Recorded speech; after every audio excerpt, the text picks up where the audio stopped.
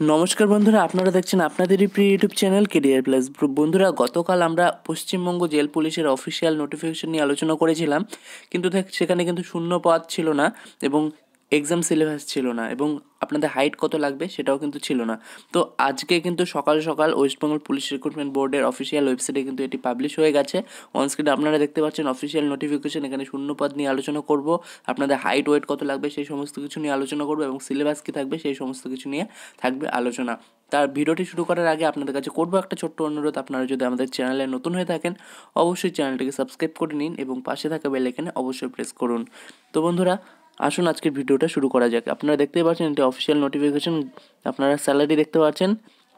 Pay scale পাঁচ হাজার চারশো থেকে পঁচিশ হাজার দুশো টাকা। গ্রেড পে থাকবে ছাব্বিশশো টাকা। এখানে আপনারা আপনারা শূন্যপাত দেখতে পাচ্ছেন ভ্যাকেন্সি ভ্যাকেন্সি দেখে মেলদের জন্য, অর্থাৎ ছেলেদের জন্য রয়েছে ছশো পঁচানব্বইটি এবং ফিমেলদের জন্য একশো একুশটি। টোটাল কিন্তু শূন্যপাত আটশো ষোলোটি। তো বন্ধুরা, আমি আগেই দুঃখিত, ক্ষমা চেয়ে নিচ্ছি কারণ এটি খুব সকাল সকাল বানাচ্ছি, তাই একটু ব্যাকগ্রাউন্ড নয়েজ হতে পারে, তার জন্য দুঃখিত। তো বন্ধুরা, দেখুন আনরিজার্ভদের জন্য, ছেলেদের জন্য রয়েছে মেলদের জন্য দুশো চৌত্রিশটি ফিমেলদের জন্য চল্লিশটি টোটাল দুশো চুয়াত্তরটি আনরিজার্ভদের জন্য। তো বন্ধুরা, আপনারা একটু দেখে নেবেন অনস্ক্রিনে আপনারা দেখতেই পাচ্ছেন টোটাল আটশো ষোলোটি শূন্যবাদ রয়েছে, যেখানে ফিমেলদের জন্য একশো একুশটি এবং মেলদের জন্য ছশো পঁচানব্বইটি। তারপর বন্ধুরা আপনাদের এলিজিবিলিটি আপনাদের বলেই দিয়েছি, আপনাদের এজ হতে হবে আঠেরো থেকে সাতাশ বছরের মধ্যে। যেটা দরকার সেটা আমি বলে দিচ্ছি, আপনাদের মিনিমাম স্ট্যান্ডার্ড হাইট কী হতে হবে দেখুন। দেখুন বন্ধুরা এডুকেশনাল কোয়ালিফিকেশনটা আগে বলে নিই। এখানে আপনাদের মাধ্যমিক পাস বলেছে এবং কম্পিউটার যে সার্টিফিকেট সেখানে অনেকে কমেন্ট করছে, আমার এই সার্টিফিকেট নেই, এই সার্টিফিকেট নেই। কিন্তু এখানে কিন্তু পরিষ্কারভাবে বলে দিয়েছে West Bengal state council of technical education technical and vocational এডুকেশনের হতে হবে অথবা ইউথ কম্পিউটার ট্রেনিং সেন্টারে হতে হবে। এই দুটো সার্টিফিকেটের মধ্যে যদি একটাও না থাকে, তাহলে কিন্তু আপনি আবেদন করতে পারবেন না। এখানে কিন্তু পরিষ্কারভাবে বলা রয়েছে। তো বন্ধুরা ইউথ কম্পিউটার সেন্টার, অর্থাৎ যুব কম্পিউটার প্রশিক্ষণ কেন্দ্র। অনেকের অনেকেই কিন্তু যুবতে ঢোকে বা অনেকেই কিন্তু অন্যান্য কোনো সেন্টারে গিয়ে ঢোকে। মাধ্যমিক পাশ করার পর মানে অনেকে কম্পিউটার শেখার জন্য ঢোকে। তো যারা যারা যুব থেকে করেছেন, তাদের জন্য গুড নিউজ আপনারা আবেদন করতে পারবেন এবং যারা যুব থেকে করেননি, অর্থাৎ ইউথ থেকে করেননি, তারা কিন্তু আবেদন করতে পারবেন না। আপনাদের বলেই দিয়েছে এখানে West Bengal state council of technical and vocational education and skill ডেভেলপমেন্টের হতে হবে বা ইউথ কম্পিউটার ট্রেনিং সেন্টারের সার্টিফিকেট হতে হবে।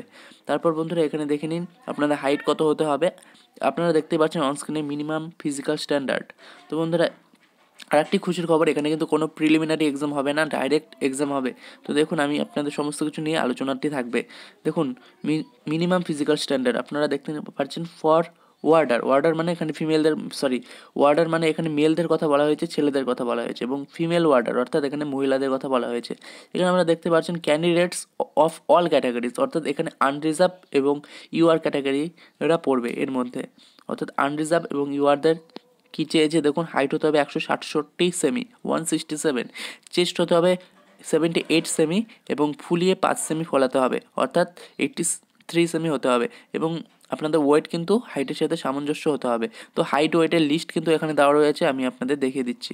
দেখুন, গোর্খাস গাড়োয়ালিস এবং রাজবংশী শিডিউল ট্রাইবস আপনারাও যদি গোর্খা গাড়োয়ালিস বা এসটি হয়ে থাকেন বা রাজবংশী হয়ে থাকেন, আপনাদের একশো ষাট সেমি আপনাদের হাইট হতে হবে এবং আপনাদের চেস্ট হতে হবে ছিয়াত্তর সেমি অর্থাৎ সেভেন্টি সিক্স সেমি এবং ফুলিয়ে পাঁচ সেমি বাড়াতে হবে এবং এবং আপনাদের হাইটের সাথে ওয়েট কিন্তু সামঞ্জস্য থাকতে হবে।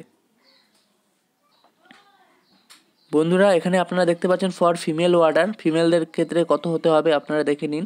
ফিমেলদের ক্ষেত্রে আপনারা যদি আনরিজার্ভ বা ওবিসি ক্যান্ডিডেট হয়ে থাকেন, আপনাদের হাইট হতে হবে ওয়ান সিক্সটি একশো ষাট সেমি এবং এখানে কিন্তু চেস্টের কোনো ব্যাপার নেই এবং এখানে কিন্তু আপনাদের হাইটের সাথে ওয়েটটা সামঞ্জস্য সামঞ্জস্য হতে হবে এবং আপনাদের গোর্খা গারোয়ালিজ রাজবংশী এবং শিডিউল ট্রাইবস এখানে আপনাদের একশো বাহান্ন সেমি হতে হবে। আপনাদের হাইট এবং আপনাদের হাইটের সাথে ওয়েট সামঞ্জস্যপূর্ণ হতে হবে। এখানে আপনারা দেখতে পাচ্ছেন হাইটের সাথে ওয়েট আপনাদের যদি একশো ষাট সেমি হাইট হয়ে থাকে। দেখুন না একশো ষাট সেমি যদি আপনাদের হাইট হয়ে থাকে, আপনাদের, আপনারা যদি ছেলে হয়ে থাকেন, তাহলে আপনাদের ওয়েট হতে হবে বাহান্ন থেকে পঁয়ষট্টি কেজি। দেখুন, এখানে দেওয়া রয়েছে। এবং আপনারা যদি ফিমেল হয়ে থাকেন, আপনারা যদি মহিলা হয়ে থাকেন, তাহলে আপনাদের হাইট সরি ওয়েট ওয়েট হতে হবে আটচল্লিশ থেকে একষট্টি কেজি মধ্যে।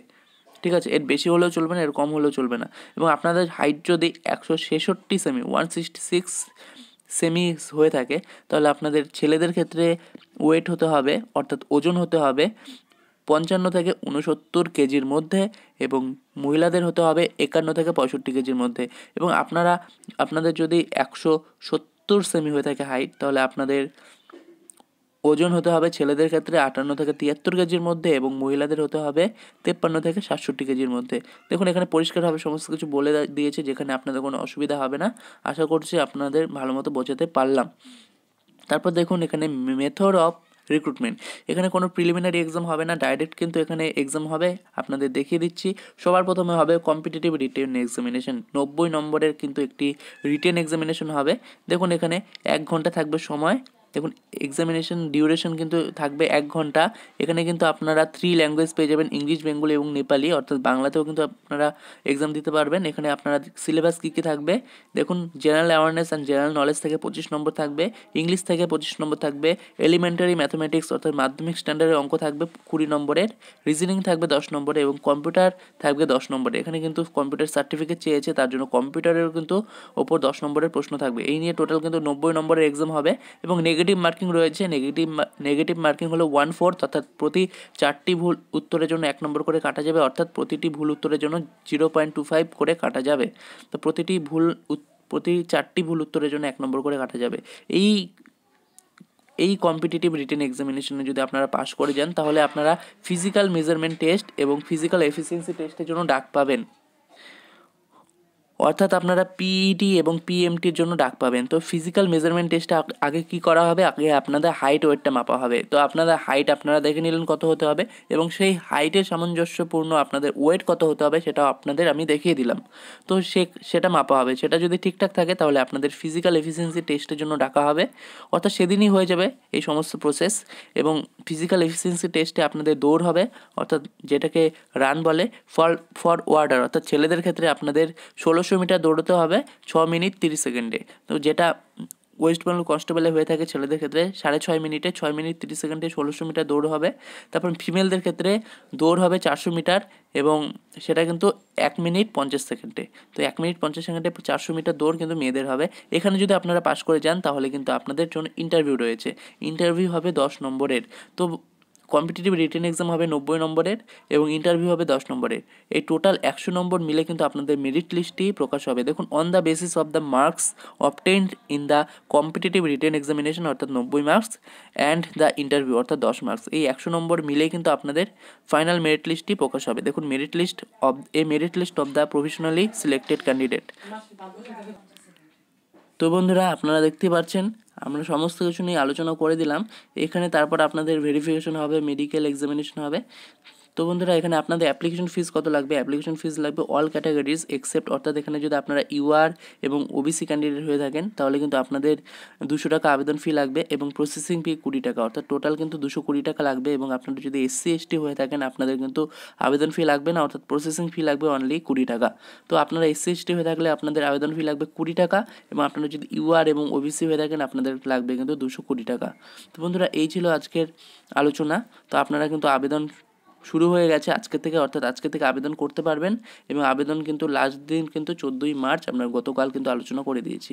ভিডিওটি ভালো লাগলে অবশ্যই লাইক করবেন, আমাদের চ্যানেলটিকে যারা সাবস্ক্রাইব করেননি অবশ্যই সাবস্ক্রাইব করবেন। তো বন্ধুরা, আজকের জন্য এই পর্যন্তই। ভিডিওটি প্রথম থেকে শেষ পর্যন্ত দেখার জন্য অসংখ্য ধন্যবাদ।